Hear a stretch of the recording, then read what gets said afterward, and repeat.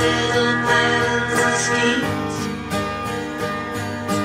Lost like some forgotten